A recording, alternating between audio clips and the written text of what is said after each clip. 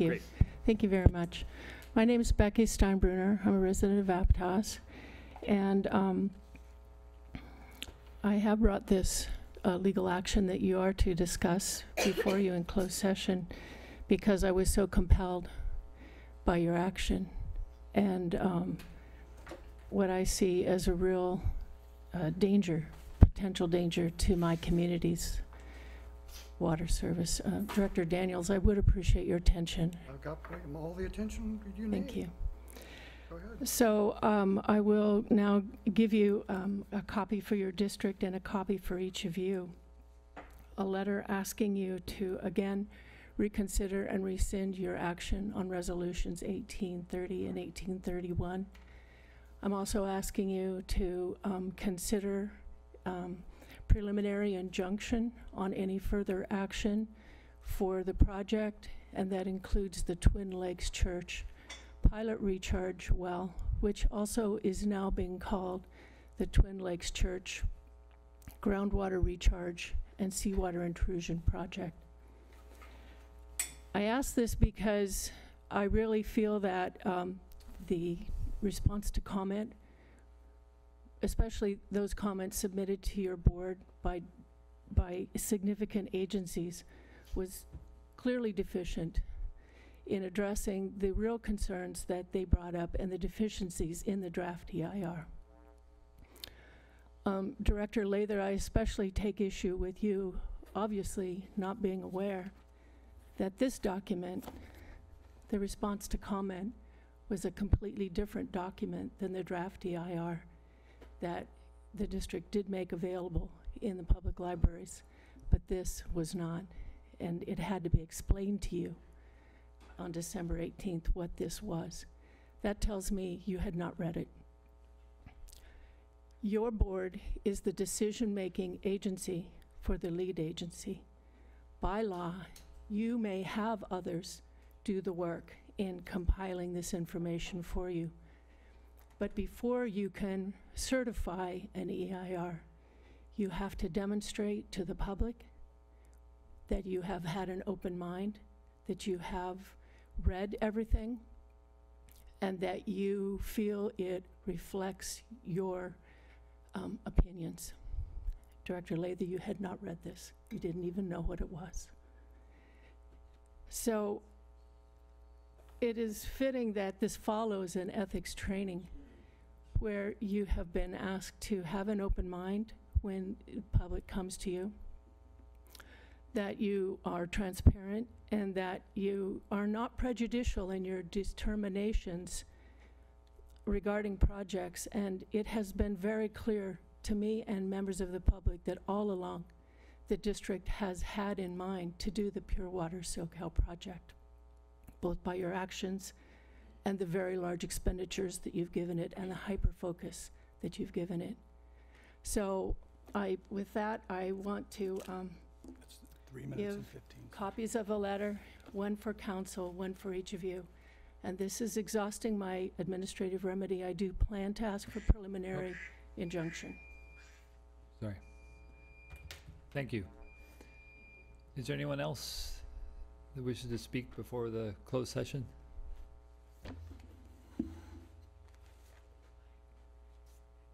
My name is Joanne Katzen, and I haven't come before you before, but I have come to a few meetings. And I'll just have to say that, um, speaking as a resident of Aptos, a long time, 30 years, and um, somebody who actually taught school for 30 years, um, I'm not really happy with the way this board operates. And I've, I've watched a lot of boards. I watch, you know, um, the Board of Supervisors, for example. And I think there is a lack of transparency, and I can't give you all the specifics because, as I said, I haven't come to as many meetings as I probably should have.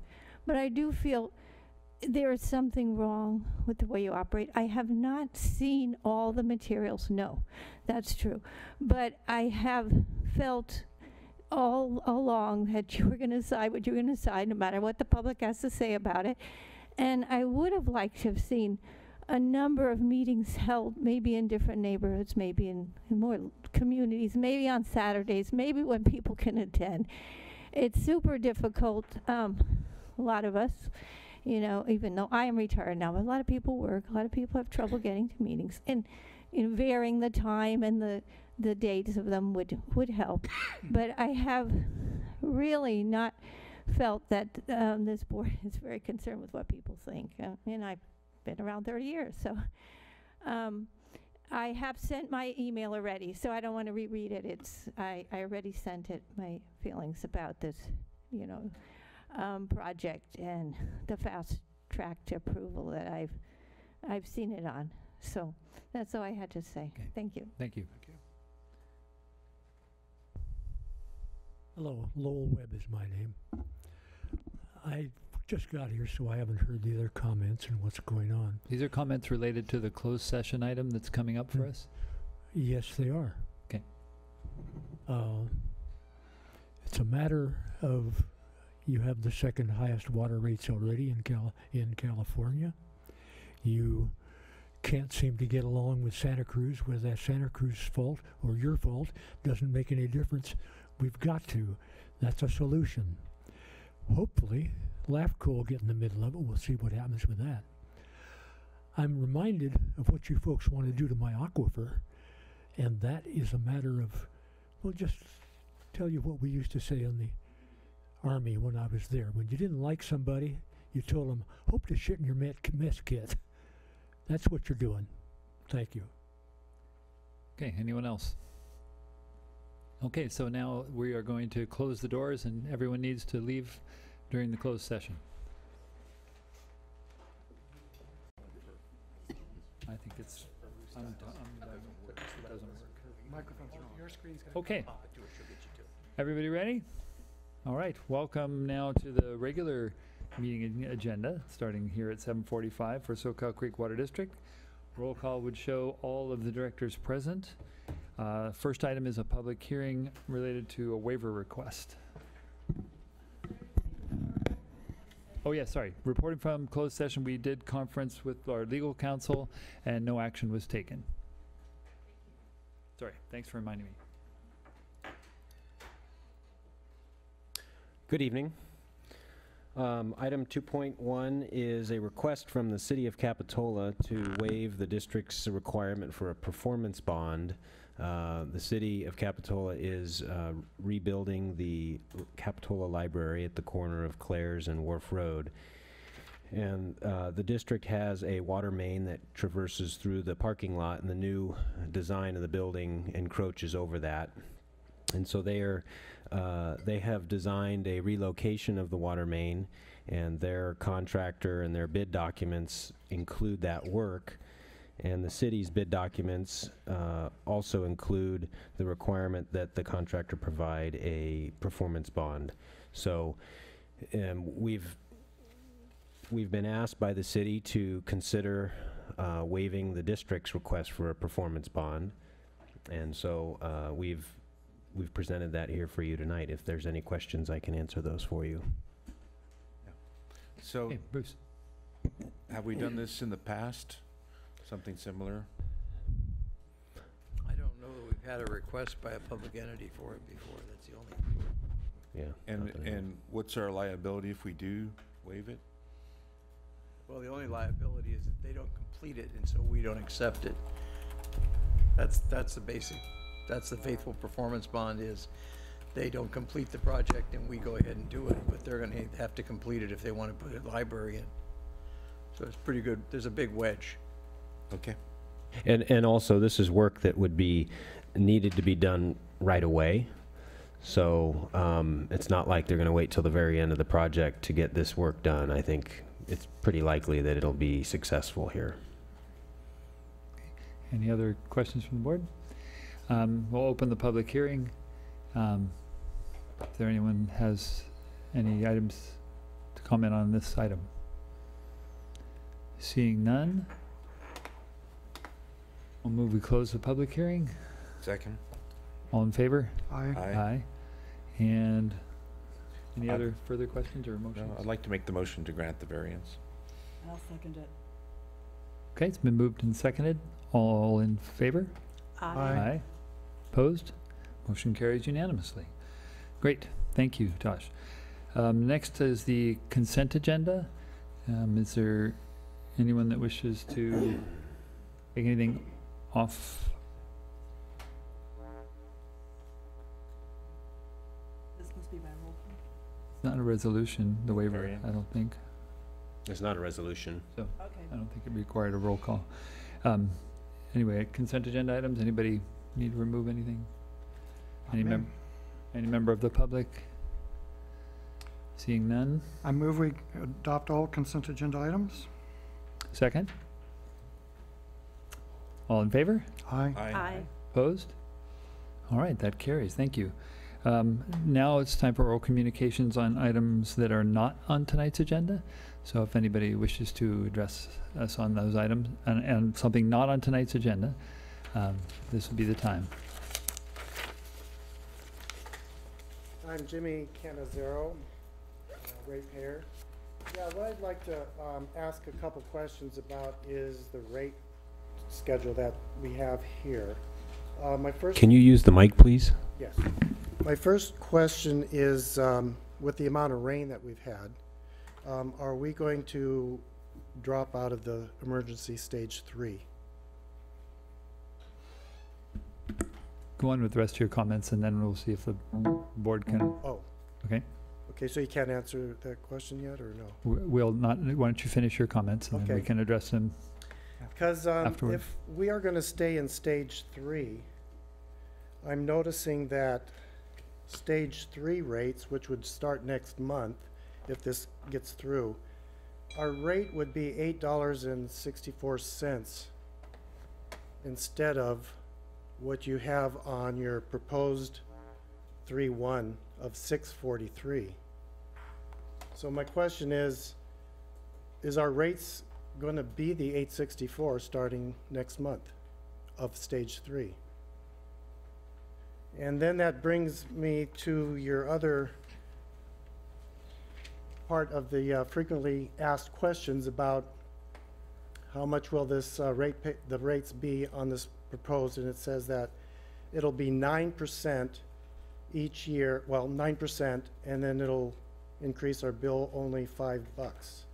So if we go to a stage three, this whole paragraph of how it's gonna affect our bill, uh, doesn't work. Unless I'm missing something. I called the district today, asked these questions, and, um, I guess you guys were pretty busy, weren't able to get back with me, so that's why I'm here asking this kind of a question.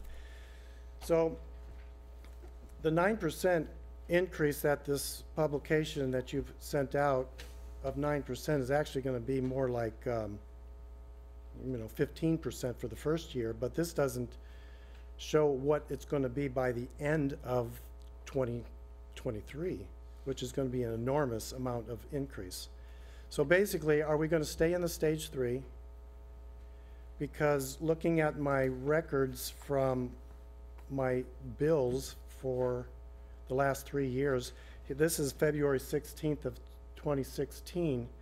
And on here, it has all the rates that you guys passed, but not once since this was enacted, we ever was pay, paying the regular rate. They were all stage three rates. So stage three rates has always continued from this notification now to this next notification. So it seems like we will never get out of stage three. And when would you pull us out of stage three? Okay. Thank you. Um, I will let everybody speak, and then maybe I'll ask staff if they have some of those answers for you. Okay. Next.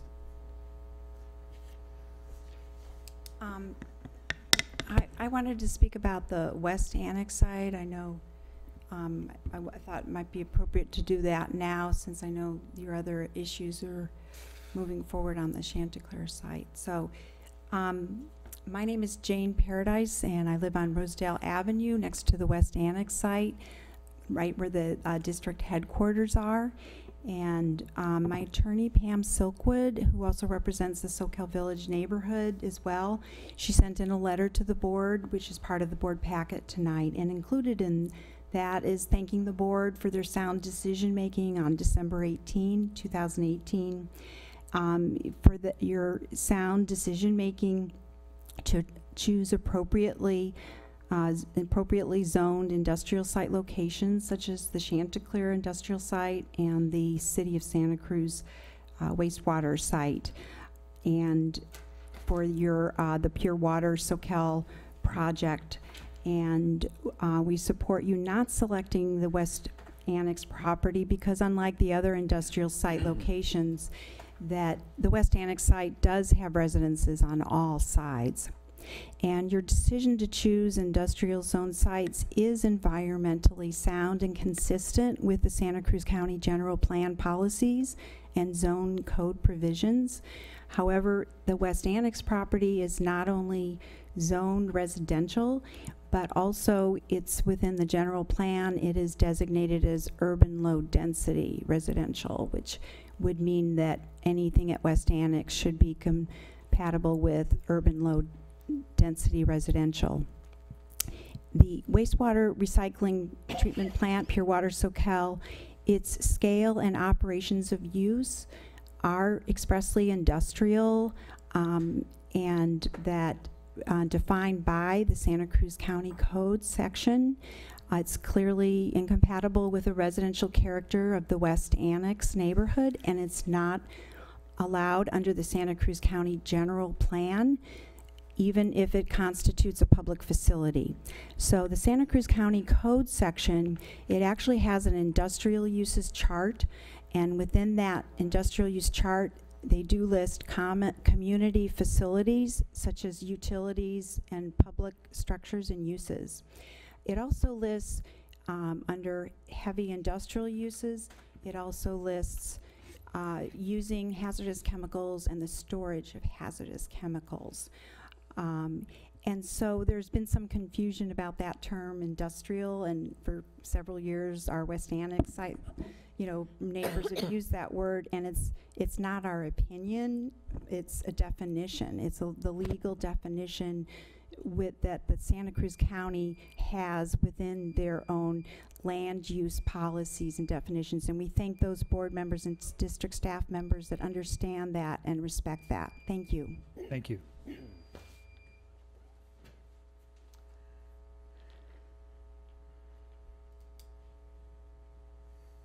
Good evening, Becky Steinbruner, a resident of Aptos. Um, I want to um, make your board aware that the Water for Santa Cruz County Group will hold a third and final um, workshop instructing your ratepayers how to correctly protest the rates that uh, you are putting forth in a Prop 218 vote. Many people are not aware that they have this opportunity or that, or how to take such action. And so um, on February 12th at 7 PM at the Aptos Library, we will again be instructing your ratepayers how to correctly file protest. I do have um, questions about the information that you did send out to your ratepayers. I think it is incomplete um, by the requirements for Prop 218, as I read in information from um, the guide uh, from the um, Community Water Center on the website. It says, by law, you must include the amount of the rate cr- increase, which you do, but as Mr. Canizero points out, it's very confusing as to um, whether the uh, stage three higher rates, which look like that's what you're basing your rate increases on, will continue. Number two, why the increase is needed. That is quite nebulous in the information that your district sends out because it says you will use it to um, um, do work for supplemental supply and, and groundwater recharge, when in fact, I know, having attended your November 6th, 6th um, meeting, where Raftelis presented that the rate increase was based on two scenarios. A, you getting a grant funding for the Pure Water Soquel project. B, you do not get the grant funding. Your board chose B, not getting the grant funding, because you felt it would be easier to reduce the rates for your customers um, in the event you get the grant, rather than having to go back to them for more if you did not get the grant. That is in your November 6th rate uh, report from Raftelis, uh, item 6.2, I think it is, in your um, November 6th agenda packet. That was not declared in the information you sent to your customers, which leads me to number three, how the provider calculated the amount of the needed increase. That information is not in any information that you sent out to your ratepayers. And finally, when and where the water provider will hold a public hearing on the proposed rate increase. That is thankfully given on the very last page. Um, and I want to just point out that that will be your next meeting, February 19th. And I encourage uh, transparency here with your ratepayers, that they have the ability to protest and how to do it correctly. Thank you. Thank you. Anyone else?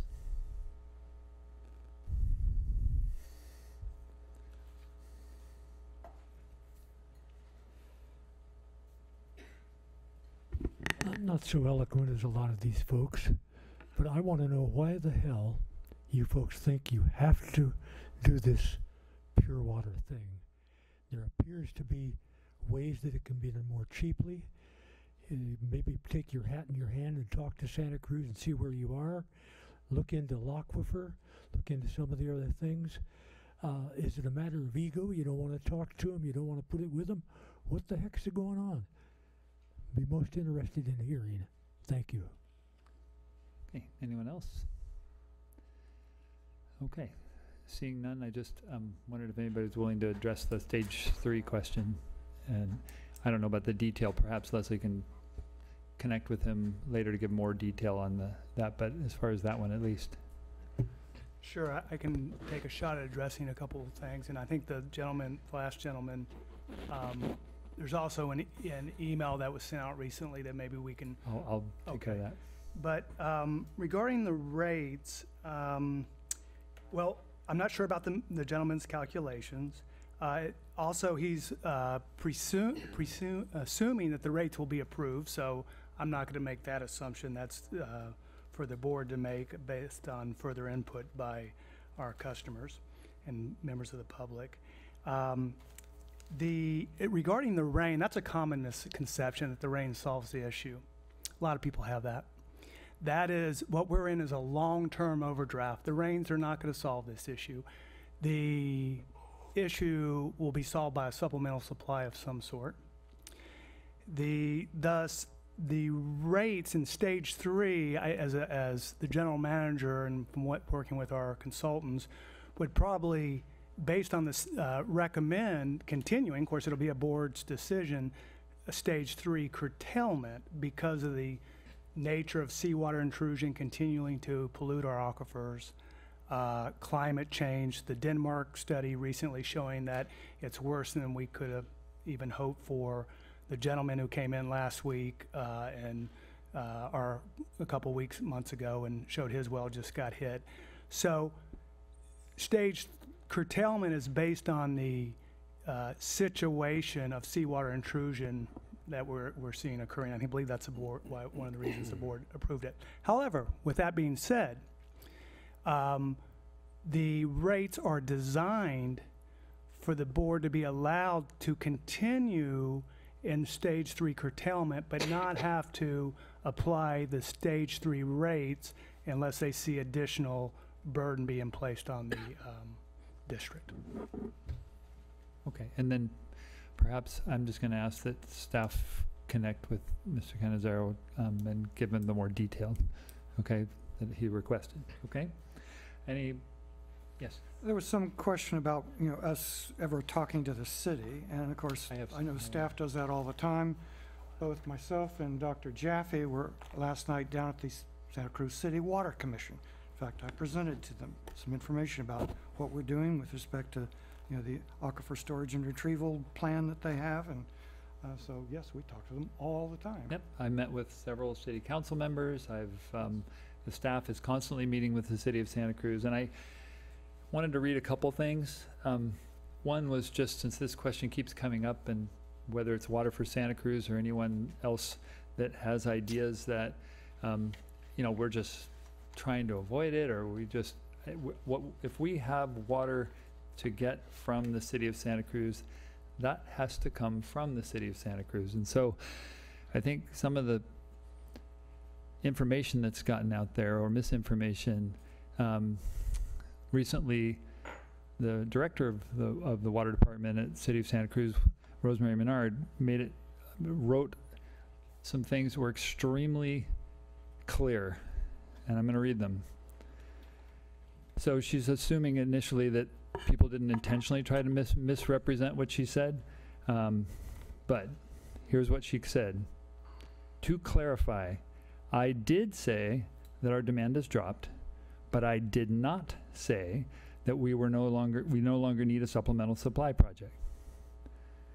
I did say that we are working on adding more robust treatment process to the work we're doing to rehabilitate the Graham Hill water treatment plant, and that I thought our doing so would allow us to access somewhat more water than we currently can because of greater ability to treat water with higher le- levels of turbidity than we can deal with currently. I did not say that we would expect to have more water available to transfer.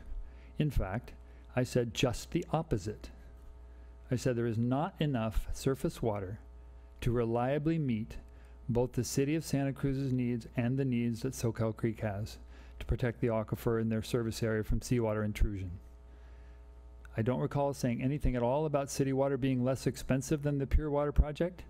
If I did mention cost, under no circumstances would I have said that transfer water would be cheaper than Pure Water Soquel because, in fact, I don't believe that would be the case. And I particularly don't believe that would be the case if Soquel gets the $50 million grant it is applying for. I did say that based on modeling results I've seen so far, it is not clear that the city could plan on getting much in the way of water back from an in lieu transfer, at least in the near term. It isn't clear to me why you're characterizing this as a game changer, since the question of how much water we would get back from an in lieu project with Soquel has been unresolved since the WASAC process. The underlying issue is what is going to take, what is it going to take to protect the basin from seawater intrusion? Due to the critical importance of effectively solving the problem, the city and the Mid-County Groundwater Agency partners would need to prioritize basin sustainability over any other purposes until the seawater intrusion threat has been effectively dealt with. And she's, I think, getting a little tired of miscommunication, and so said, to the extent that you or others in your group choose to characterize what the opportunities for water transfers are in any manner that doesn't align with the statements above, please know that from my perspective at least, you are purposely misrepresenting the facts. So we hear this, you know, almost every meeting, and I just wanted to make it clear that since she's the water director of the city of Santa Cruz, I think she did a good job of making that abundantly clear. The only other thing I just noticed in the last um, newsletter from the California Water Agencies, um, this is the State Water Resources Control Board. Um, they have three goals in the recent amendments. One is to increase the use of recycled water from 714,000 acre feet a year to 1.5 million, so doubling in a five-year period. Two, reuse all dry weather direct discharge of treated wastewater to enclosed bays, estuaries, coastal lagoons, and ocean waters that can be viably put to beneficial use. So they're trying to stop putting out water that's already been treated, energy went into, treated to secondary standards, and just wasting it by putting it out into the ocean. Three, maximize the use of recycled water in areas where groundwater supplies are in a state of overdraft. To the extent that, so anyway, that's exactly what we're trying to do. So those are priorities for the state that I wanted to make clear. I think it's clear what the state wants. It's clear what the city has made clear what their position is, and our goal has continuously been to protect the groundwater. So I'll leave it at that. A Couple things I want to continue with. Um, there are a lot of people out there wandering the streets, telling people that it's almost like saying you can go down to the store and buy a cup of coffee two, for two pennies. And you might want to believe that. Uh, sounds good to me. And there are people going out saying you can get this water for real cheap, real easy. In fact, some people I think are confused because the city did a special deal with us to do this pilot that we're currently doing. It's going to be this winter and next winter. and we're getting the water for three hundred dollars an acre foot, which is way under the price of what anyone in Santa Cruz is paying for their water.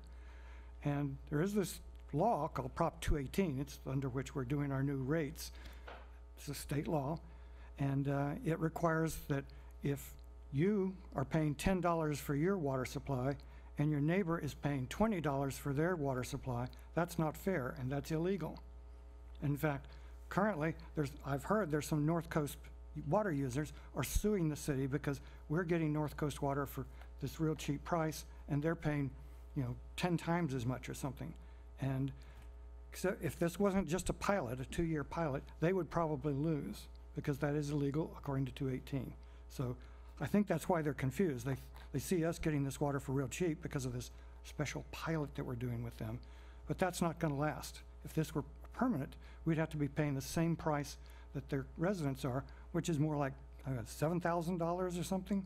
So, I mean, it's, it's not going to be cheap. They can't make it be cheap because that way we would be getting a special break that their own customers aren't getting, and that's illegal. Okay, anyone else from the board? Any other oral communications? Yeah, well, I just want to respond. uh,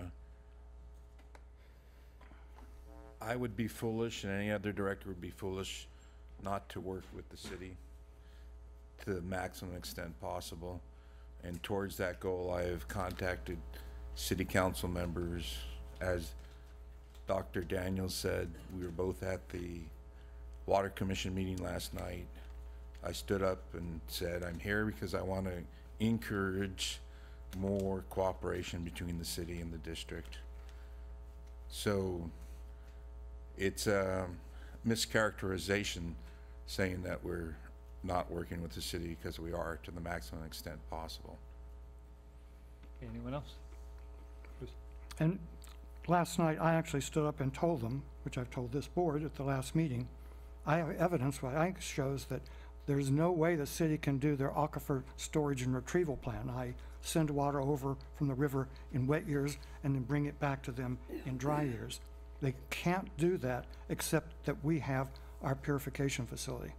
If they do that without a purification facility, if they take out, we take out a billion gallons for our customers, they take out 1.2 billion gallons they say they need for their customers, with nothing going in from rainwater and nothing coming over the hill from, you know, excess river water, that's going to damage the basin. And in fact, the city's first studies of this have shown just that. Okay. So, Yeah, I've got- yep, go ahead. Yes, dear. It's not about that subject. That's fine. It's just oral communications. Okay. Uh, I just wanted to announce, I You just put got, the, um, I wanted to get, uh, an, let everybody know that there's gonna be an information se- session on this coming Monday, the eleventh, on groundwater enrich- en- enrichment. It's, uh, being led by the staff who are working on the, uh, modeling, the groundwater modeling. And the reason, it might be interesting, uh, it's, there, every time I've heard anything about the modeling, it's more and more information has been refined and updated. So it'd probably be a worthwhile session. It's from five to seven. And you can access it by webinar or at the Community Foundation. And, uh, it touches on the, the report, I'll just say briefly, the, uh, surface water, uh, the surface water subcommittee of the GSA, GSP Advisory Committee.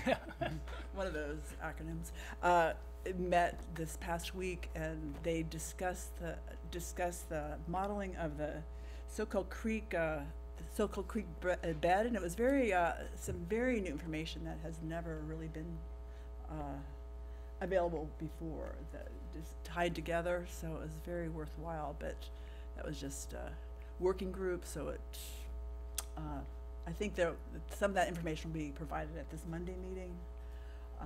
And you don't have to go to the community foundation to do it. And, uh, I just had another, uh, I'll just go for it here really quickly.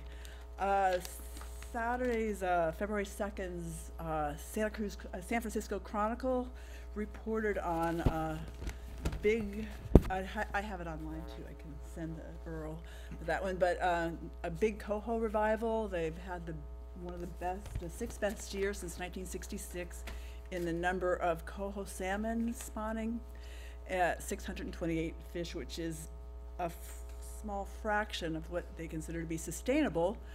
But they, the county of Marin and uh, a number of environmental groups have worked together to restore the Lagunitas Creek, restricting development, all kinds of things, and it's finally starting to pay off. And it's the kind of thing that probably we as a county have to have to address here if we're ever going to have a revival of the coho fisheries on the San Lorenzo River and in Soquel Creek too. They they found fish and they found coho up in North County on La, Lagunas Creek, so it's different, but very few, just nothing like this fishery here. So uh, it's a really interesting article. So it'll be on the record. Uh, I think that's. I'll just leave it at that. And we have another newspaper clipping here. This is, this is dated, because it's um, from Monday Sentinel, and I double-checked the information, because I'm not gonna say anymore.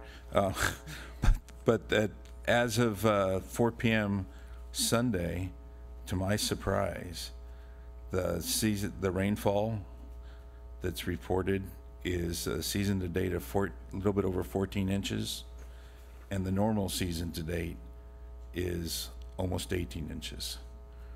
So even, now that's changed in the past few days. Now they're above normal by about 10%.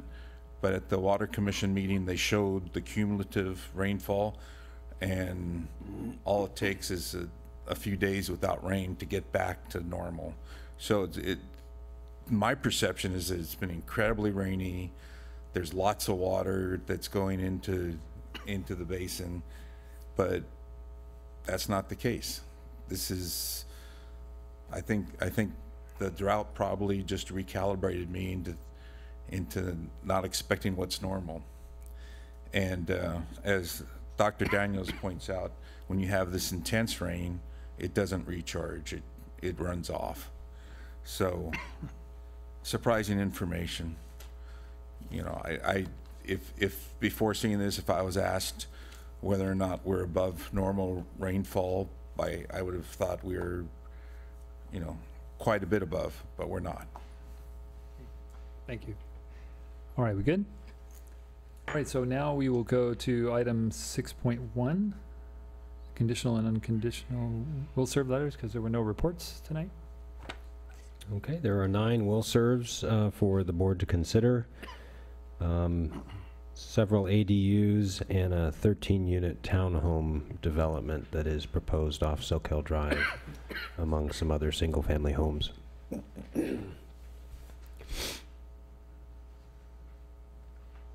Questions?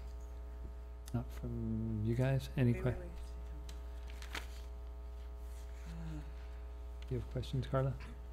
Yeah, it's another, it's another dumb question, but, um, yeah, but I was wondering, like the Go Green, like, s- uh, some of the houses, they, they got a reduction because they committed to some Go Green.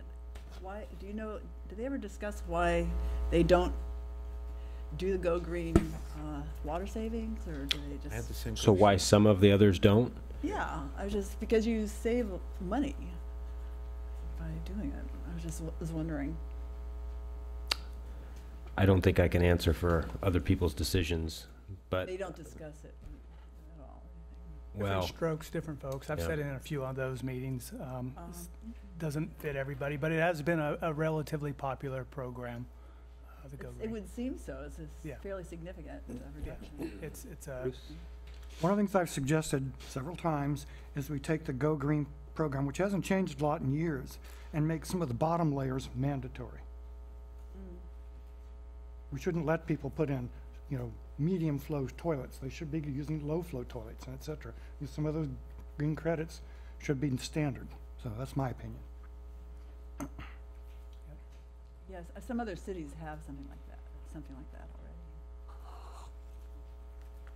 We could bring that back, actually. I would like that. I think we should. okay, I'll add it to the, put it on Yeah. the special assignments, okay. Thank you. Um, and, uh, any other questions? All right, so any uh, members of the public on this item? Seeing none, what's the board's pleasure?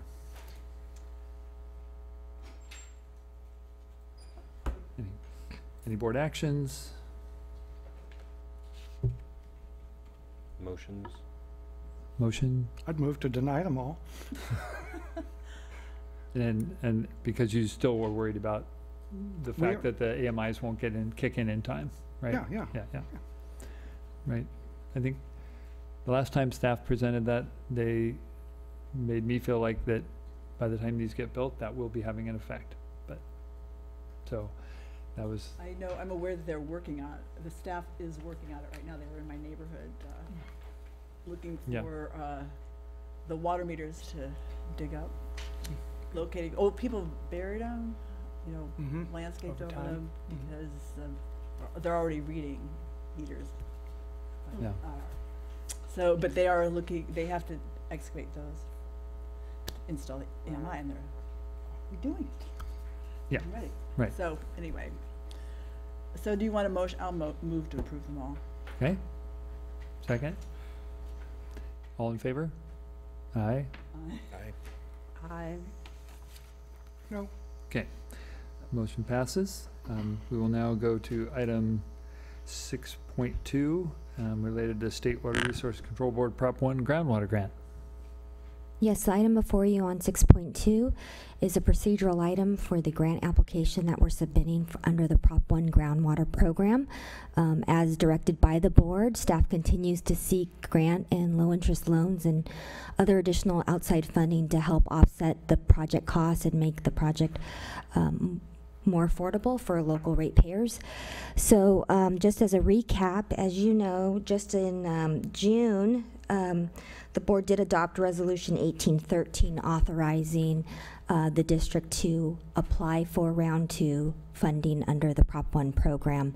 We were invited back um, to apply and submit a full application, and as part of that full application, they do require the um, proposal to have a resolution. So the resolution, draft resolution is attached, and I'm here to answer any questions. Questions? I just, a minor point, I just noticed in the write-up, it talked about uh, $900 million in, in bonds to prevent and clean up contamination of groundwater. And in the resolution, it's 800 million.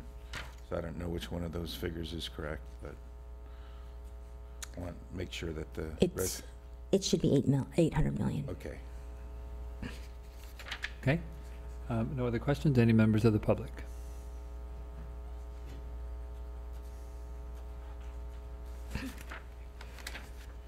Thank you, Becky Steinbruner. I just want to um, protest your taking this action to support Pure Water Soquel project. Thank you. Thank you. Anyone else? Okay, this will be a roll call. I make the vote motion. Somebody makes a motion. I make the I motion. second the motion. Bruce and Bruce. Okay. Roll call vote. Director Lather, Yes. Vice President Daniels, Yes. Director Jaffe, Yes. Director Christensen, Yes. and President LaHue. Yes. Thank you. That passes unanimously. And then we will go to item six point three, scopes of work for two different entities.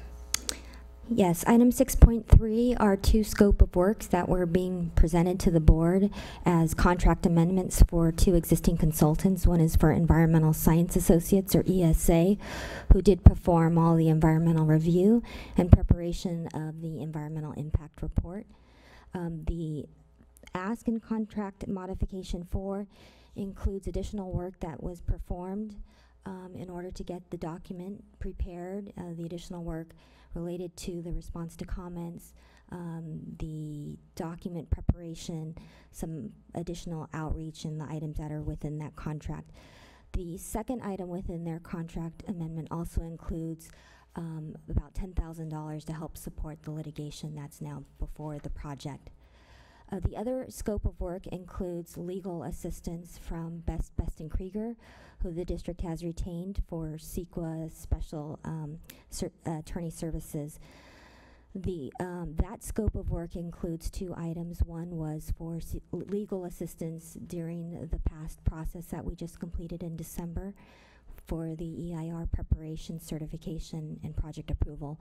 And now that there is a legal challenge before us, uh, this contract amendment includes $175,000 for that effort to provide services for that. And I'm here to answer any questions. Okay. Questions? No? Okay, so any members of the But- public? but Oh, Actually, I go did ahead. have one, sorry, a little slow.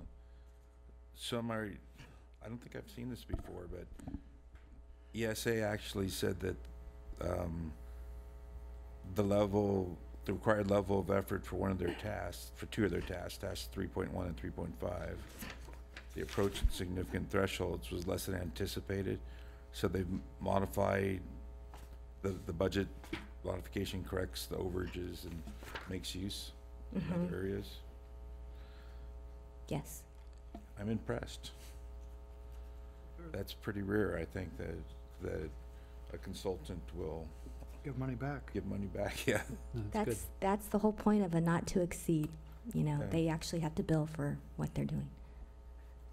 Okay, any co- comment from the public?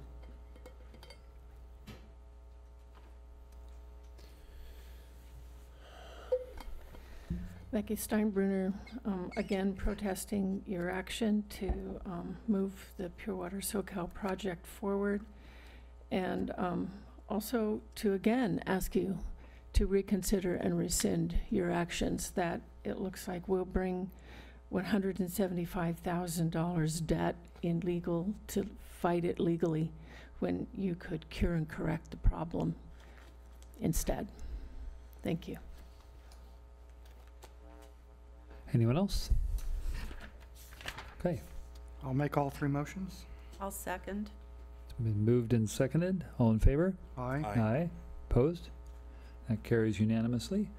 So then our next item, oh, come on, computer. There we go, is um, scope of work for Brown and Caldwell. Item six point four. Somehow I'm sitting in the wrong slot tonight.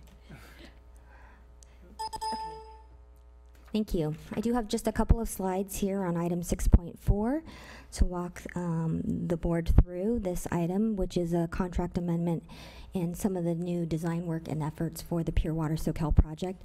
I also did want to let um, the board know that we do have Anoop Shaw, who is our program manager, um, out in the um, audience. So if there are questions, um, he's also available. So just to reiterate, on December 18th, 2018, the district board did approve the Pure Water Soquel project and passed the motion that stated um, that we would prioritize the project development and siting for tertiary treatment at the Santa Cruz wastewater treatment facility and the advanced water purification treatment at Chanticleer site, while also coordinating with the city of Santa Cruz on the potential to site the full advanced water purification treatment at the Santa Cruz wastewater treatment plant, provided no delay occurs to the project schedule, and that we would still proceed with the recharge well sited at Twin Lakes Church, Monterey Avenue, and Willowbrook Lane. Um, in order for us to stay on schedule, um, we also are always embracing the key values um, of what the project is is intended to do. It is intended to prevent seawater intrusion from moving further inland and contaminating our drinking water supply, and also to be cost conscious, meaning that we are really wanting to make sure that we're using the best use of our ratepayer funds. Uh, we do want to maximize grant opportunity and outside sources of funding.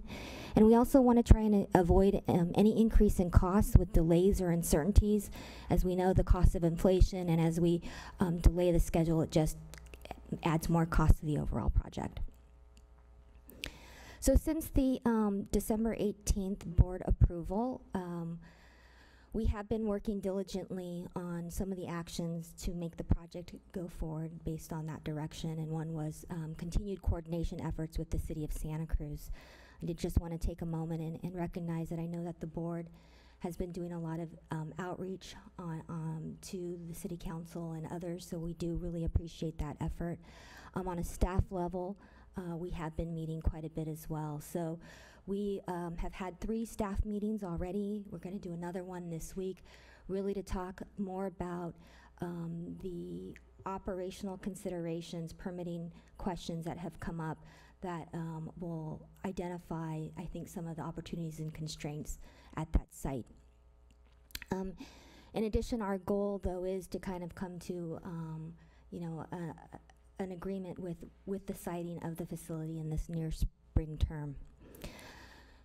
For the Chanticleer site, which is the other site that the board had um, approved us to go forward with design, uh, we have done a lot of um, input gathering from the community.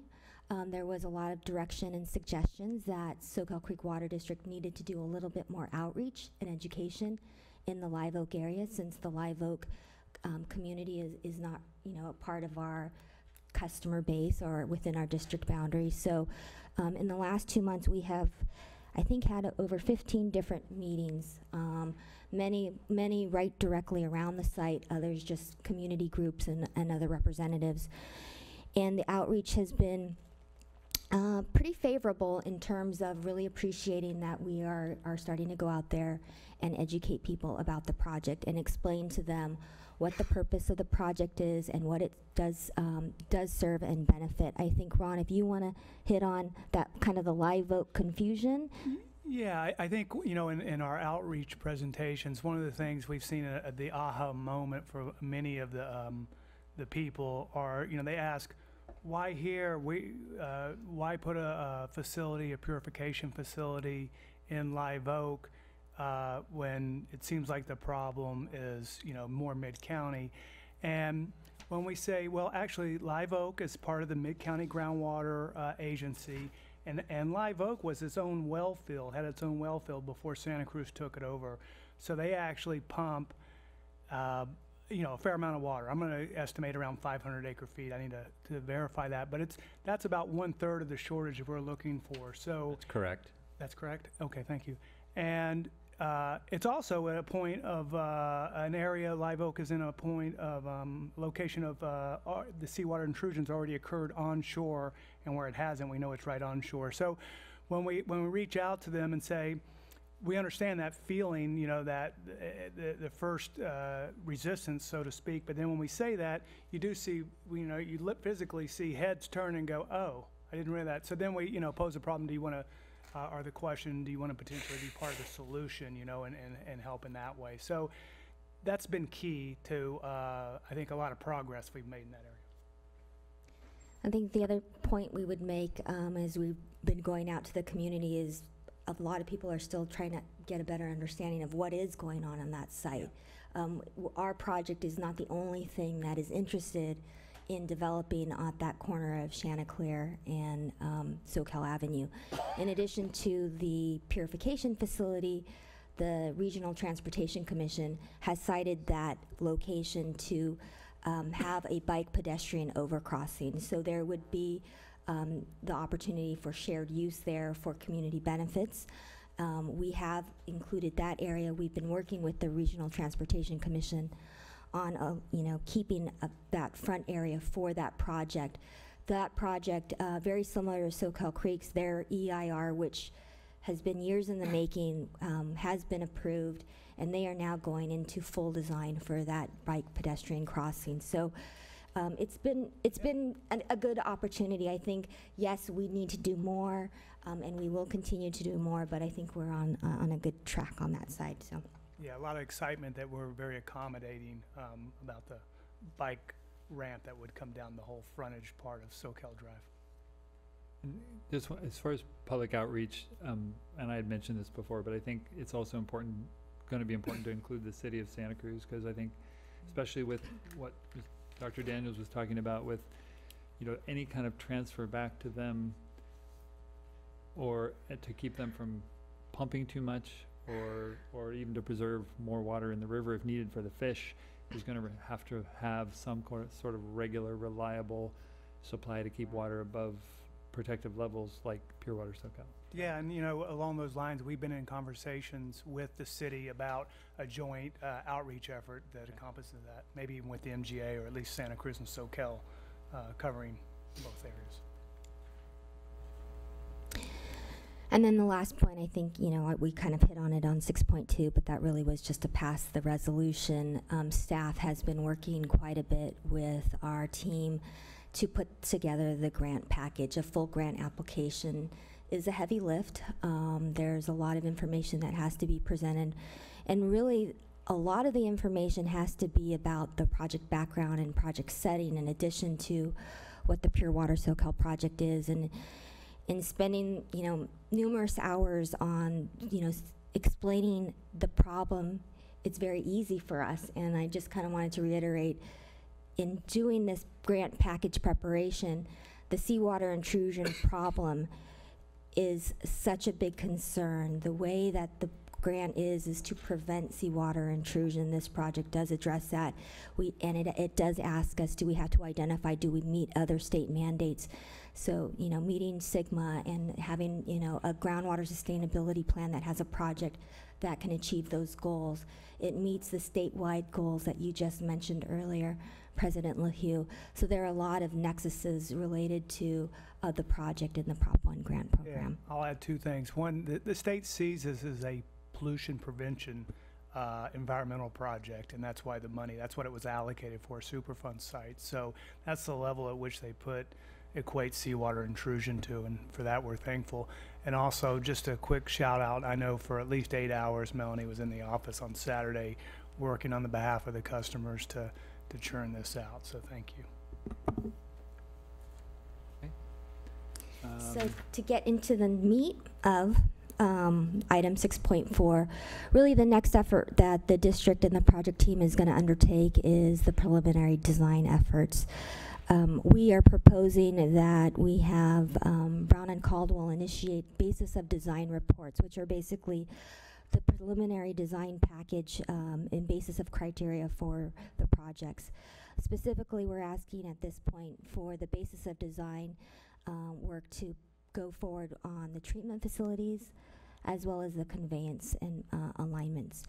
Um, because of the board action on December 18th to go forward with Chanticleer as well as coordinate with the city of Santa Cruz, um, staff's recommendation is that we proceed with basis of design development for the two uh, options. One would be a split facility at Chanticleer with purification and a tertiary at uh, Santa Cruz. The second one would be for the full um, scope to be uh, purification down at the Santa Cruz wastewater treatment plant. The basis of design report is an important step because that really helps keep us on schedule. The design, permitting, um, construction and project implementation is a very tight schedule. We have about 46 to 48 months to complete all of this so that we still meet the uh, goal of having a project come online in December 2022. So four months of the basis of design uh, report development, we, we are hoping will, will feed into the site confirmation uh, where we will be doing the project. And then um, that final basis of design report can initiate the next step, which we are going forward with um, procurement. Uh, we really do want to hire a design bid team to go out and do the additional design work. And that basis of design report serves as a way to help initiate a design firm to come on and, and do the next steps. So for um, Brown and Caldwell to help the project team right now, as you know, this is pretty much at the staff level, the project team of Pure Water Soquel, Taj, myself, and assistance from Ron. Um, we are asking for Brown and Caldwell to come and basically help us develop those basis of design reports, provide program management and support, which would include cost validation. Currently, we have the cost estimates that we've um, that we've been using are from the Carollo feasibility study, class four. As we go forward with each step in design, we're able to do cost validation to get us to a better cost estimate as we go forward. Um, and that would also include um, QA, QC, and the development of some procurement documents such as the uh, request for qualifications. Another important step that we'd like to initiate now, this is sometimes step um, items that Soquel Creek Water District staff would do, um, but just to kind of ease the, um, ease and facilitate a more cohesive team. Um, we are asking Brown and Caldwell to al- also oversee this as the program manager and hire consultants or sub-consultants to initiate some field work and coordination that would feed into that 30% design work. Um, we do have an optional item that staff is recommending that we can also put in here, which would begin to initiate the 30% design. We are hoping that through this process, through the spring, that before the end of the fiscal year, we will have a site selected and we would be able to start that 30% design work. So we could initiate that work and then pass it on, and then in the next fiscal year, um, we could complete that. So to, so tonight, um, we are asking that the board consider a- the ame- uh, amending Brown and Caldwell scope for uh, staff's recommendation to do two basis of design reports in parallel to keep us on track, um, and then allocate the money out of OCR, and then authorize uh, Ron as the general manager to uh, sign those purchase orders. Questions? Yeah. So I, I follow things up to the, um, the initiation of the field work, coordination, and to the, um, thirty percent, uh, design. So the, can you talk a bit about the need to initiate the fieldwork coordination at that time? It's July of twenty nineteen, and it seems like this is dependent on having a decision by that point on where to site the advanced water purification facility. It does not necessarily need to be prior to it, it can be right after or within it. We are hoping that by, by May, um, that is when, you know, we talk about coordinating with the city, that is the date, time work of where we're trying to figure out where we would be sited. And so that still gives us a couple of months before the end of the fiscal year to initiate uh, some work that can be done instead of waiting to July 1st. So once the site was completed, we can go ahead and do it- some more site work and some more analysis on the sites that go beyond what we would be gathering under a basis of design report. Is that correct? Anoop? Okay. Maybe you can come here and just, So it's, it's July twenty nineteen is when this, that part of- is proposed to begin. Right, so um, a lot of the background data that will support the design development includes surveying, geotechnical borings, and things like that. It requires uh, coordination with a lot of agencies. Mhm. And uh, what we are proposing is we begin that process right now, coordinate everything that we can, and be ready to actually drill holes wherever geotechnical borings are needed, or have the surveyors go out on the street. All of that work we can uh, tee up for the July 1st of the next fiscal year. In this fiscal year, we just want to line up everything, so as soon as the next fiscal year comes around, we can execute that work. What and we, you know, usually it takes uh, two to three months to get everything lined up to even collect any fieldwork uh, data. And uh, I may be going here in a little bit more details, but when we think about the conveyance infrastructure coming from Santa Cruz to Chanticleer or West Annex sites, we have a couple of stream crossings, um, and those would require special engineering. So we want to collect that data and get be ready for it. So that's where this preparation comes in advance, uh, prior to actually executing the work. And what if the advanced water purification facility is at the wastewater treatment facility? we, we still got to follow the same route for the pipeline. So a lot of the surveying and geotechnical borings, irrespective of where the facilities are, I think the pipeline route would follow the same route. So this So preparation, you're talking about on the, the pipeline, this work, correct. not, not so much at the facility itself? That, that's right. hmm and I think just similar to what you rec- recognized in the uh, previous agenda item, you know, we could have this money aside, we would use it as needed. So, you know, if, if, if we don't need to do that kind of effort on a facility site, then, then that money wouldn't be spent. That, that is correct. And uh, another sort of uh, element of uh, field work or data collection is source water uh, control program or understanding what is the water coming in at City of Santa Cruz. That's what the regulatory agencies would require. So as part of this effort, we would initiate those uh, field work efforts to collect some sampling at uh, City of Santa Cruz for the source water program. So all of this is um, just getting ready for the next phase of work. Okay, I didn't see the source water in the write-up. Um, okay.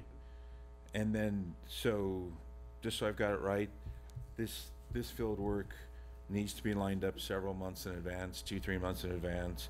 And the field work on, on the pipeline route is, um, is something that, that can be done regardless of, of where the facility is. And you would hold off on any work at, you know, facility sites until that decision's made. That's precisely the point. And I think if I may add a little bit more, um, our focus emphasis so far is just to do as much work, just enough work that's uh, we can be doing to stay on schedule, basis of design reports on parallel tracks.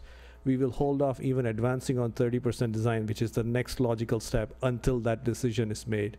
So this optional task is there only if the decision is made in time, then we do want to start on that decision. Otherwise, we will be holding off on 30% design. Okay. Right, and just, just to clarify, uh, keeping on schedule not only is just, if, we have to keep everything going so we can still be eligible for the grant.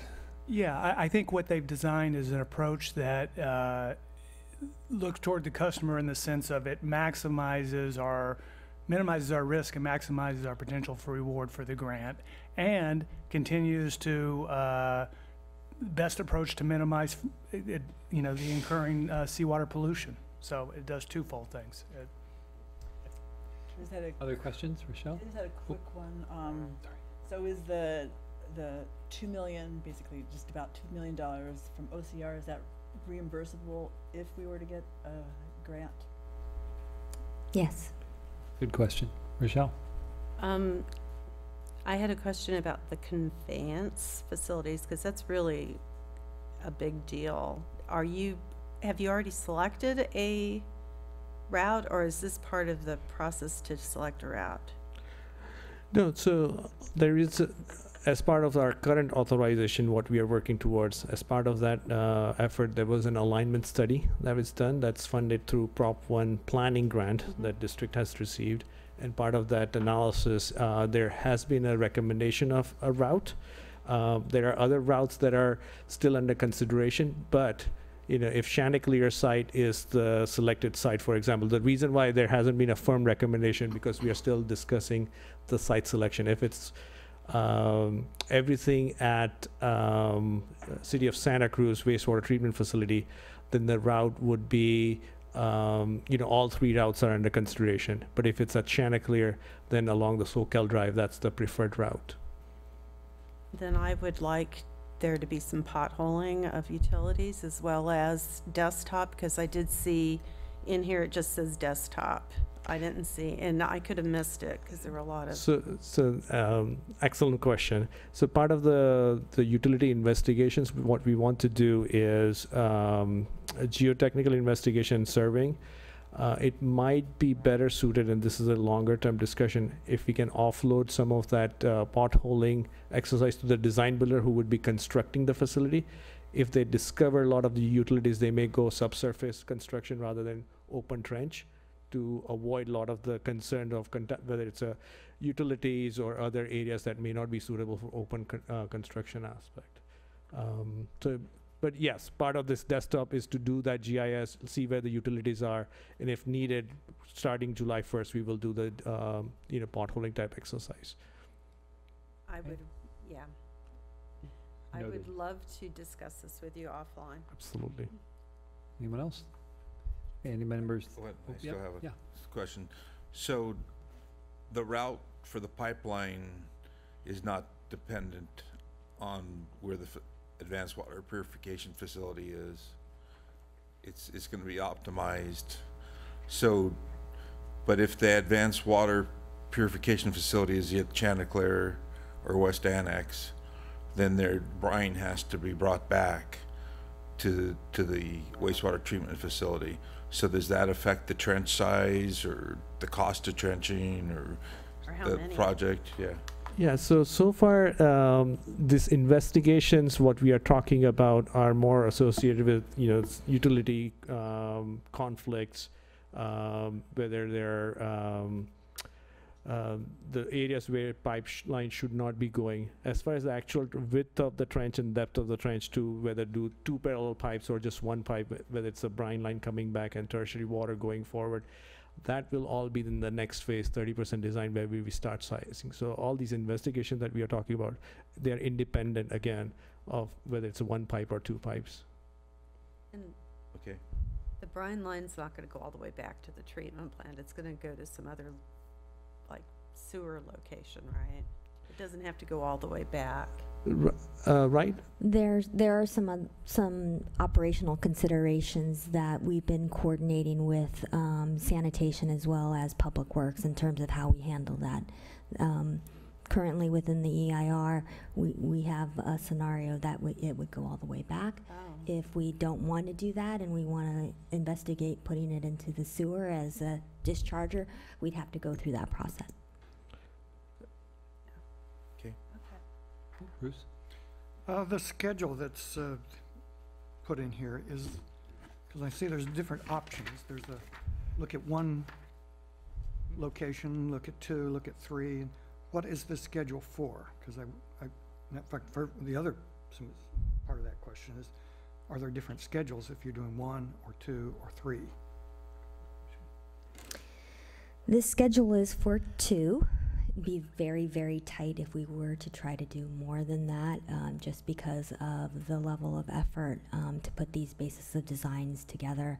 And really, if we want to try to maximize um, our resources, uh, we'd rather try and focus on the two, um, the, the, the, the two locations that the board had kind of directed us to do, Chanticleer and, and, and um, Santa Cruz wastewater treatment plant. Okay, and if we were to just do one, it would certainly ch- changes the cost, but does it change the schedule any? Would it be faster to do one as opposed to do two? Well, I would say that totally depends on uh, what site we end up. If we choose the wrong site, then it's much slower. If we choose the correct site, or the site that's im- ultimately selected, So then you think we should do all three, since we don't know anything about anything? that, that, Just we, two. we bannered that around. You want to take Yeah. that one? I think at this point, I think um, because of the efforts that um, we've been doing over the last two months to identify and coordinate with Santa Cruz as well as um, the efforts for um, outreaching with Chanticleer, I think these are two strong sites, and I think that it would it would put our best foot forward um, in working with BC and their team to do the two BODRs at this time. Um, it is an extra lift. Um, it was, you know, when we talk about the initial cost estimates that we had identified going forward with the project, it is a little bit extra cost that we're putting in right now on the forefront.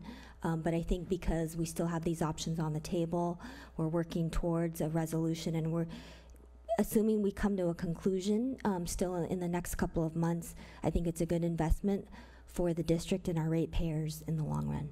Yeah, I would just add that exactly what Melanie said. Um, this seems like the best way forward. If we see that that's not progressing in the manner that the board would like, we could stop and, and, and change gears and change sites, that sort of thing. But we feel hopeful. Yeah, updates would be important. Absolutely. And is there, an- any, along those lines, is there any optimal phasing of this to pursue the parts of this that could, you know, only go towards one site and put in the two site portions later and still meet schedule? Uh, Something along the same lines, I would probably suggest this, um, that in terms of the level of coordination required for having a full faci- advanced water pu- purification facility down at Santa Cruz, that's a completely different ballgame, uh, maybe two-story building at Santa Cruz, a different coordination versus a split facility where it's only tertiary. Um, I would highly encourage that we start uh, parallel on both paths. If the decision is made soon enough that uh, yes, it's a you know split facility or full facility, whatever that decision, at that point staff can direct uh, the, uh, us to stop the other off effort and peel off. So you're not spending or burning effort on both fronts. So I think that would probably be the best way to keep things moving. And as soon as the decision is made, you just uh, pause the other effort. Yes. Um, if we do put the facility down at the wastewater treatment facility, um, the purification down there, is there also room then, if the city decides they want to do purification, for them to also put their facility at that same location? Uh, it's going to be tight. But it's a it's a city's decision, and I think right now, as we are considering, um, city is doing their own evaluation of what it means for them at their facility from operational requirements, space constraint, future plans. So I think a lot of that is going to come from them. Um, right now, as it seems, uh, it would become extremely tight if we put the full facility and then they have to expand on their own. They may have to take some of their other uh, administrative buildings and things like that, uh, metal structures off off-site to make room for a future advanced water purification. So they're still thinking about it then, they haven't made a decision. They haven't made a decision yet. That, and Melanie, you may have uh, more information on this. Yeah, I think we, we know that um, their WSAC process is still underway. They're um, out until the end of 2020 for their decision. Most of their emphasis and priority currently is with the water transfers. Um, they, in December, um, identified to keep and continue recycled water on the table, and they did table any other effort at this time on desalination. So they currently have um, surface water maximization and recycled water um, in their portfolio.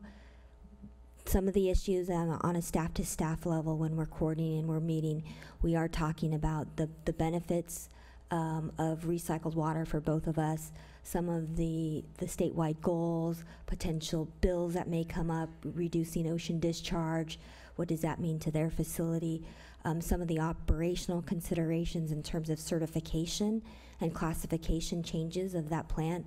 We're working with um, the state permitting agencies. At this point, a lot of the, the key issues aren't necessarily preferences of their agency or ours. They're going to be really driven by um, regulatory and permitting answers. And that's what we're trying to get into. Pretty complicated. Yeah, very complicated. It, with the ocean discharge, there's an advantage to the city of decreasing their discharge to the ocean? Yes. So uh, a couple years ago, Senator Hertzberg um, presented a bill. It didn't go forward, but it was um, proposed to be a state mandate to redu- reduce ocean discharge of treated effluent.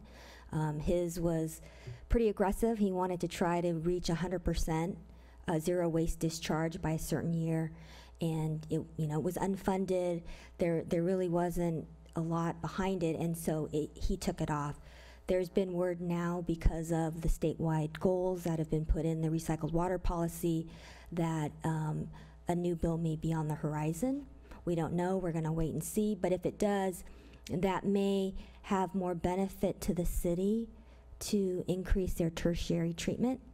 Um, but that again, I, I don't want to speak for them, but that might be the case. And, and I would add, it's not just to the uh, city. They do pay the, I think, 56 or something like that percent, but it's to the entire county because if that rule does come, uh, legislation comes down as proposed and predicted, uh, you know, it, it, it's gonna it's gonna impact everybody who uh, sends effluent there. So, city majority, but Live Oak, uh, Mid County, uh, all the way down. So Golf it's a cour- benefit. or it's a- private golf courses Yeah, it's a or benefit to something. everybody. Um, yes, Bob? I, I thought we forgot to bring to the board's attention, but page 209, which was in the original packet, Oh, was right. removed because it was, it was. Right. uh, Sorry, I was supposed to remember that too. Oh, thank Yeah. you. There was one page that was, that was in the original thing that went out that was not just a draft, that it was removed. You- Um, and then s- we should probably allow public Yeah. comment. if you're done. Thank you, Noop. Thank you, Anoop. Any, anyone from the public wish to comment on this item?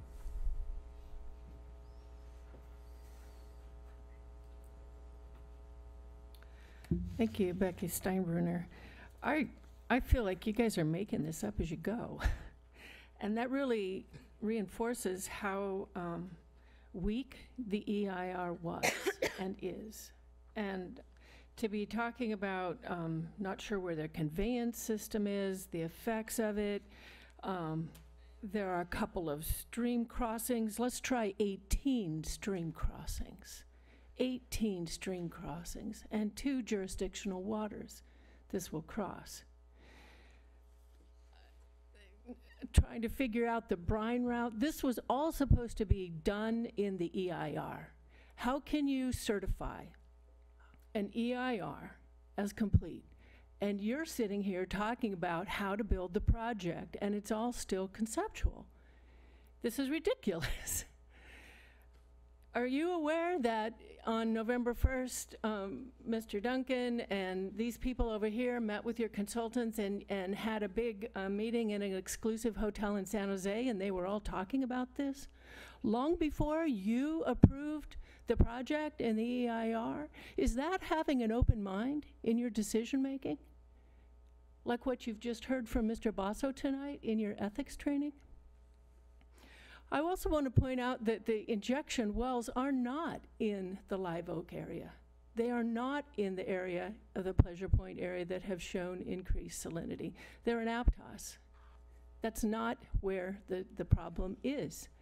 And in fact, in the EI, draft EIR, it states that those, those water, groundwater levels have actually risen and recovered in recent years. But that's where you're putting the injection wells. It makes no sense. And you started the project with the Twin Lakes project, long before you approved the main project. And that project had a faulty uh, initial study and mitigated negative declaration. You had to go back and correct it. You said it was gra gravity feed. What is going on here? It's like you're making it up, rushing forward just to get this pot of money from the state and the federal people.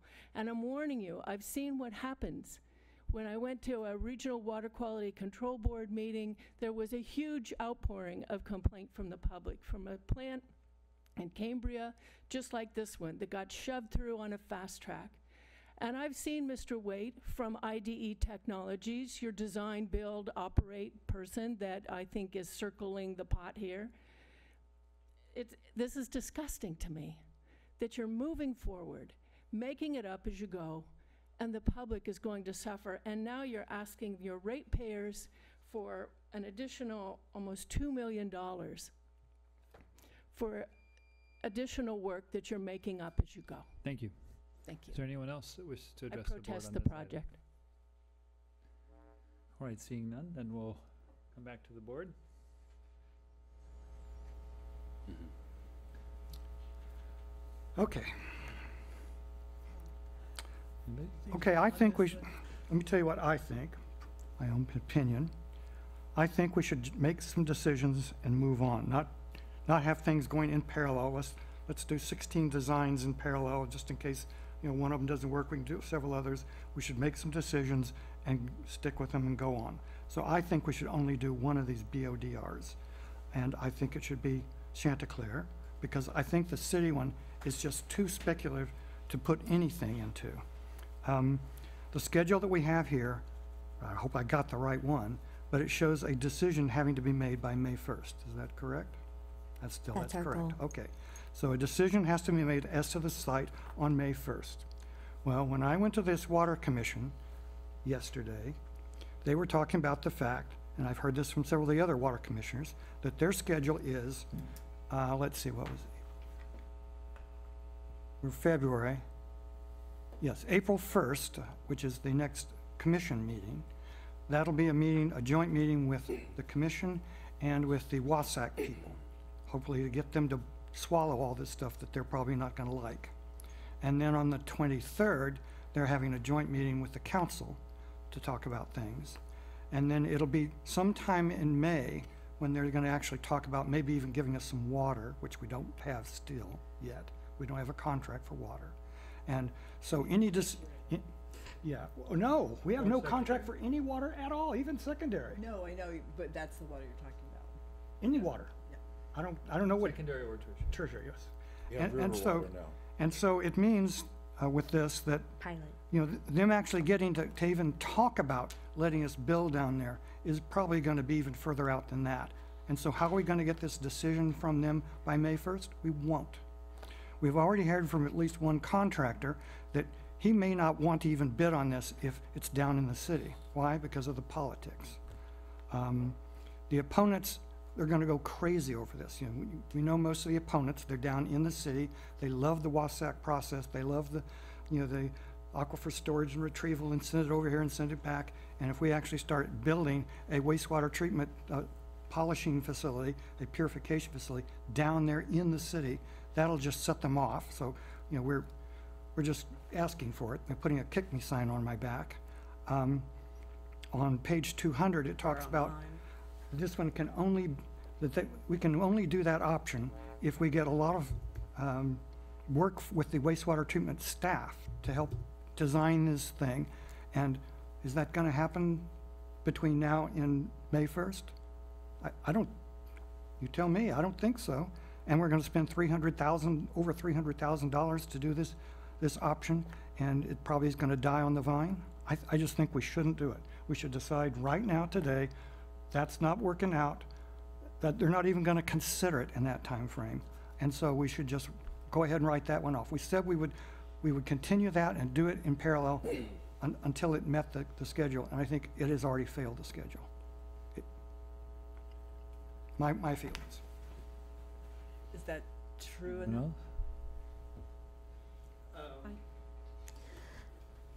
Yeah, what is, I'll, I'll, I'll start that. I mean, I think in earnest that staff has been coordinating and trying to meet this May 1st. I think that, as uh, Dr. Daniels has mentioned, there's a lot of other items that play into whether or not um, we can successfully come to an agreement to do the full purification facility there.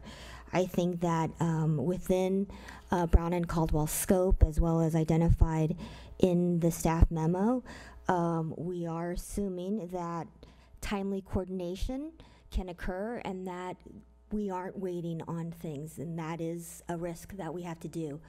Um, we have budgeted and timed kind of for deliverables to this, but schedule slippage could occur on that BODR versus the other one because of there's more people at play. Well, it's, it's all fine to have a schedule for deliverables, but if you get no agreement on the other side that they're actually gonna deliver anything in that time frame, then it's hyper speculation, and we're spending three hundred thousand dollars based on input that we just haven't gotten from the city. I mean, instead, they're, they have a different schedule entirely. I have talked to several of the council members, and they have exactly the same schedule. You know, April first, you know, end of April, and then into May, they'll talk about, you know, what they're doing. But, and so I, I, I think it's just a waste to do this. Yeah, I can certainly understand. fooling ourselves. One of the perspectives was that, well, we don't own the, the second site or the Chanticleer site, but also trying to, um, to some degree, and maybe this isn't the right approach, but honor Santa Cruz when it does get to its solution. What, what is the option that they would like? And if it was down there and we started on the other, on just Chanticleer, so that was part of the thinking of the dual track. It, it optimize potential, minimize risk, you know, grant opportunity, but also it, uh, it looked towards Santa Cruz saying, hey, this is a nod, we're trying to, um, honor what you may, you may want. Right now, we think they don't want the facility down there. They may say, you know, after their evaluations, then they may say this, we want it down there. So that's what we were trying to honor. Not, and they may not. I'm not, uh, but But if you look at the, if you look at the history, I mean, the schedule was, it was going to come to the Water Commission yesterday. And now it's talking about two months later. You're right. They- If anything, they're gonna get later and later and later. That's their history. And, and we're spending three hundred thousand dollars betting on them actually accelerating the schedule, not falling behind. And in fact, not even meeting what their current schedule is, which is, they wouldn't even consider this until well into May. can I add a, an idea? Um, just, um, I do think it's, we, we don't have any, we don't own a property at the Chanticleer site either right now. So, so there's risks with not including the other site.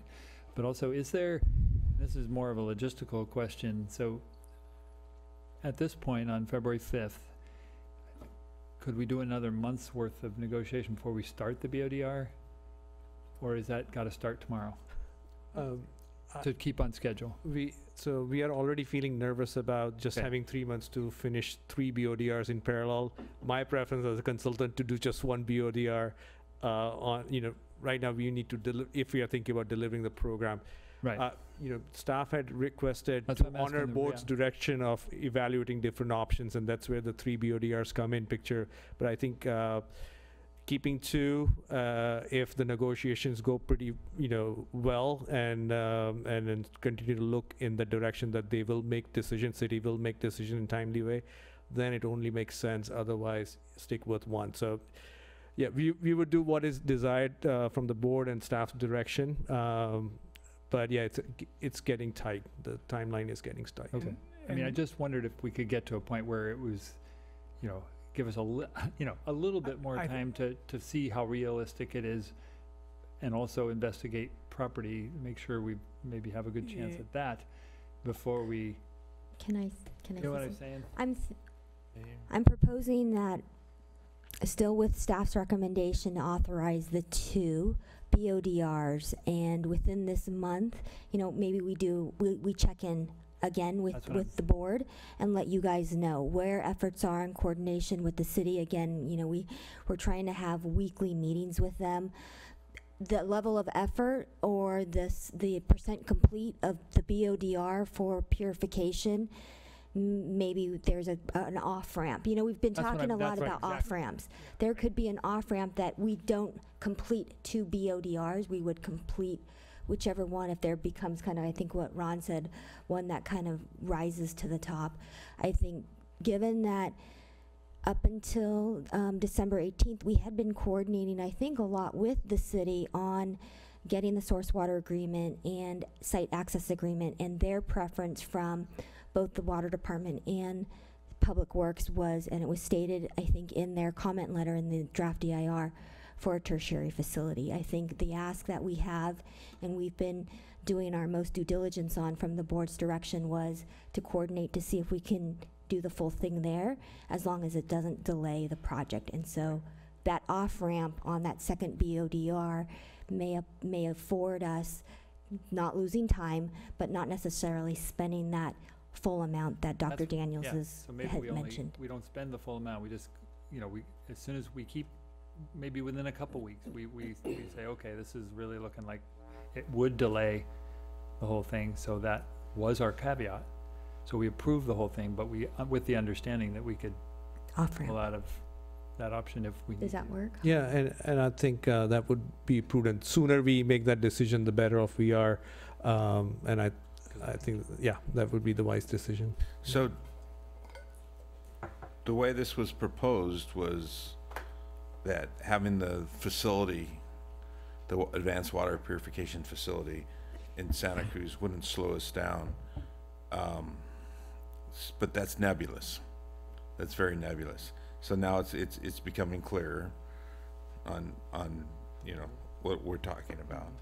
Um, But Tom brought up the, the question about risk, you know, as a risk reduction, having two sites that has an advantage. So it's, it's hard for me to assess the Chanticleer site to know whether that's, you know, nothing's a hundred percent. Is it ninety-five percent? Is it ninety percent? I'd feel more comfortable if I had an assessment of, you know, so that, of, of Chanticleer as being a, as, as being a definite. And I'd feel more comfortable with, with, with dropping Santa Cruz if I knew that. Mhm. So is there any, anything that Well, you I can tell me about that? Why don't you take a stab at I- that one? You know, I mean, chime in, team. Um, I would say high probability, but there's also ongoing negotiations, which it's nice to have leverage. So that uh, leverage gives you um, leverage, which is basically dollars. So there's some offset there. That's one thing I'll say about keeping two. I mean, you, you have three sites in the running. If you wanted to switch gears, that's always an option. Uh, but in the two that we're talking about, so having uh, Santa Cruz in there probably gives us um, uh, some negotiation options on that on that property that we wouldn't otherwise have. So there's some there's a dollar factor there, and then as far as probability, um, you know, I think it's a pretty high probability. Yes, if um, I go back to uh, my one concern is if if Santa Cruz would want the facility down there, then uh, versus sending us tertiary, then um, you know we see that we see them as partners all the way. You know, uh, they ha- they um, with the effluent and everything. So that, those are, I don't know if that answers your question, but a couple things Yeah, popping around. a bit, a bit. Well- And, and is there a way that we can accelerate, um, determination of how viable Santa Cruz is? I mean, you've been talking with, with, with, at the staff level. It's a good question. We've been- Uh, well, yeah, we have. I mean, they've been, you guys have been on the, on the treadmill on that one. Um, what's your assessment? Yeah, I think um, with our weekly meetings that we're doing with um, the city of Santa Cruz at this time to evaluate the opportunities and constraints, a lot of the things that I think we would be doing as we would be initiating that contract document anyways would be to work and peel, peel these back. So um, early consultation with the regulatory agencies are answering a lot of the questions that the city of Santa Cruz had and are allowing us to kind of really evaluate the viability of the purification there just from that standpoint. Then from the standpoint of um, meeting, meeting the schedule of their process, meeting, you know, kind of the issues just related to the wastewater treatment plan and their full master plan. I think that probably within a month or month and a half, we definitely can come back and provide an update. And that was just kind of what Anoop and I were talking about earlier today. And, and I, w- I would add uh, just uh, uh, another sort of additional information here is, as we con- contemplate two parallel BODRs, uh, we as a team, we will be reaching out to City of Santa Cruz facility staff to get their input for basis of design report. So here, come in this meeting just with the mindset of what if it was just a tertiary facility? Here's another, what if it's a full advanced water purification facility? And there's a lot of, uh, you know, demand on their time as well. So it's probably in, in their best interest as well from their staff's time and input standpoint, it's just one facility. And my, my hunch is that that decision is gonna be uh, happening from Santa Cruz much sooner than what we think, at least the staff's preference in in some wine uh, through certain conversation at the facility they had indicated their preference for tertiary facility and they felt it was the board's direction to start evaluating the full advanced water purification facility and it's based on the board's action. Now they they're going back and contemplating can we actually accommodate the full facility? So if you think about their preference their preference was for a tertiary facility. Now based on that uh, December 18 motion, they're like, okay, do we need to go back and, you know, uh, reevaluate? So some of that uh, uncertainty is bred by our preference. Uh, my hunch is that uh, prob- probably by end of uh, February, we should have a pretty clear picture on where Santa Cruz is leading in terms of facility discussion. Hoping so, it's, it's just a speculation at this point. Um, there's nothing going to be sure right now. Um, Bruce has another comment. Well, I think, uh, uh, if you look at all three sites, the, on- the wo- only one that even has tinges of being secure is West Annex. So if we want to do two BODRs, in fact, doing West Annex and Chanticleer, they're both the same design. They're both single story, inst- as opposed to the other one, which is- has to be two, dual stories, is do those two. Because, you know, we already own West A- Annex. We could put it there. It's been through the EIR, so it's approved. And that's it. That is the- the safest one we have in terms of safety and security for us. So if you want to do two, Prices That's would the two probably you should do. if we did it that way, is that Probably correct? leave it, and then we, it would send not to exceed, so. Well, and the How about- notion of spending three hundred thousand dollars for this other one, that's twenty-five dollars per customer. And, and How Dr. many Dan- of our customers are going to want to spend Right. twenty-five dollars for this wasted investigation? Because it, it really Doc- will be wasted. Dr. Daniels, if I may recommend in that case, I would say, you know, the, the difference between the uh, split facility between Chanticleer and West Annex, as you rightly pointed out, advanced water purification is very similar, green, f- you know, undeveloped site. Mm. The component at the Santa Cruz for tertiary s- remains the same. So what we can do is we can focus on just that tertiary facility development, not advance so much on the advanced water purification. As soon as a decision is made on the Chanticleer site, once we, then we decide which, you know, Which of those two? we just, so if you were to go in that direction, I would say just stick with the Chanticleer side, that BODR, not even worry about West Annex, and think about maybe a month from now, whether to authorize. That's what I was You going to to tie it suggest. down, yes. I was going to suggest and make a motion that we approve the two BODRs as suggested in the possible board actions, but then we bring it back on March fifth with an update so that we don't spend too much money going down the wrong road. And I think we try and have an idea by that time how realistic either of them are and have more information on how secure the Chanticleer site is. Does that sound good? Yep, that sounds good. That's my motion. That we get an update. I'll that- second it, but we, we need public. We already did. Oh, we did, I forgot. It's been so long time ago. Um, Tired too. yeah, No, we did. um, Still all night. So- which so- motion is that? We have to have our own motion. They're the motions up on the board. um, No, uh, th- my motion was to, as suggested i- by staff, is to do the two, two BODRs, which, with, with Chanticleer and, and Santa Cruz. Basically, and, and the other, all the other two motions, okay, approve the amount of money and the general manager to get, signed the purchase order, but that we get an update on March, the March first 5th, March. and that meeting. we, and that we minimize the, try and focus the expense on the things that would have to be done in either case, as Okay. in tertiary Santa Cruz. Okay, Okay. so spending more money, not as much money perhaps if we get trying an to offer minimize out. that, right. And is it, is it five million per year still a reasonable inflation rate for a project like this? So that's five, that's four hundred thousand dollars a month. Right. It's not a big- So if this were to save us um, a month, it would be a break even. Yeah, and then the Not counting the seawater grant. intrusion. Yeah, yeah, like, Well, I think the other question to ask yourself is, how much more information are we gonna get from the city in terms of a decision in one month? That's gonna, I think we have to, d- I think we have to do due diligence. I think we have, I, I realize I'm, I I'm think not, we have to waste money is what I think that means. okay, So I- I understand, and you can vote no. I'm voting no. Okay. I haven't, we haven't heard from, Well, we've got a motion and a second. Any other comment? I, I think you can do the basic and get it- valuable information that won't be wasted. Because we have to do a pipeline from the city to somewhere anyway. And we have to site a treatment facility at both sides or at one of the sites, and we have an idea of what we need for that.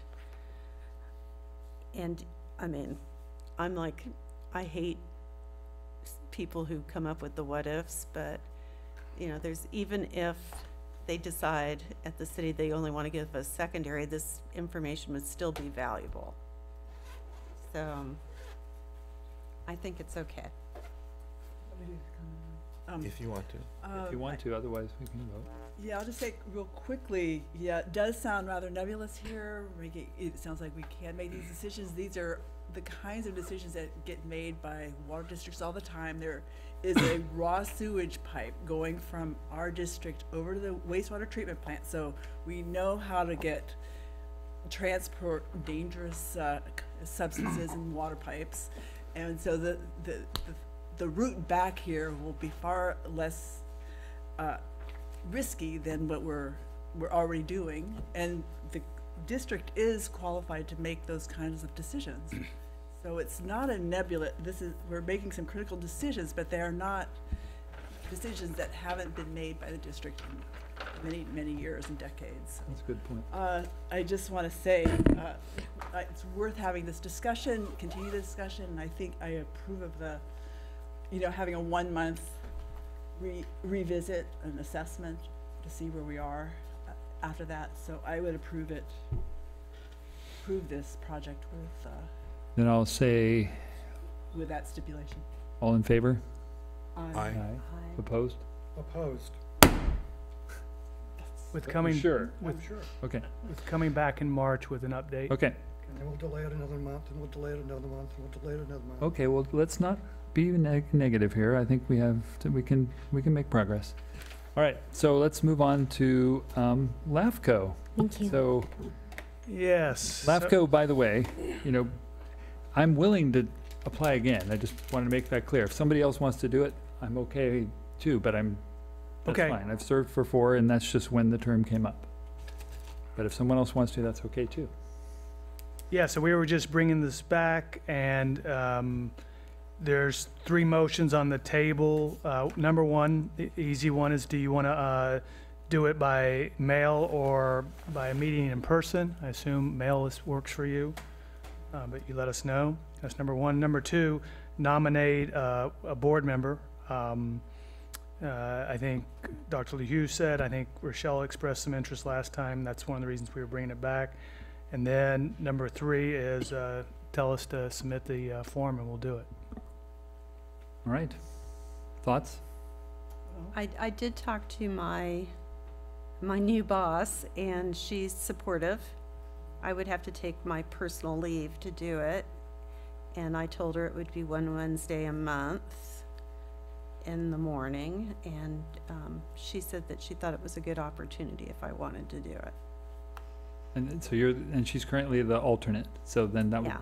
vacate that seat, and so someone else would, Yeah, they and that so, would just come open yeah, and for I'm asking another Emma because replacement. there was some question about that. Emma, what did you find out? Yeah, so your, if you decided to run and then were elected, your seat would become available, which would then trigger another LAFCO election to fill your seat. Mm-hmm. Right. So do you want to do it? I, w- I would love to. I, I'm very interested in the study on the sewer agencies, and I have a lot of You do have a lot of. knowledge and experience and understanding, and I think I could add value, but I thought I could do that as an Sure. alternate. Yeah. So I'll, I'll make the motion, Yeah. number one, to do it by mail. Go ahead. And number two, I'll, I'll not make the motion to nominate Rochelle Okay. for the seat. And And direct the staff, number three, to submit a nomination form. Do we want to vote on all three at I'll s- once? uh, yeah, we can, and I'll second it. Public contact. Yep. Anyone want to comment on this item? Seeing none? I seconded. All in favor? Aye. Aye. Aye. Opposed?